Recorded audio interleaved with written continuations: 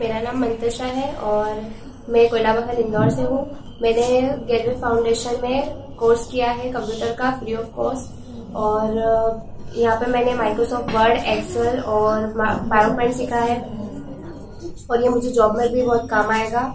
और यहाँ free of cost था तो कहीं और मुझे पे करनी पड़ती है फ़ीस पर यहाँ पे मुझे फ्री ऑफ़ कॉस्ट मिला है।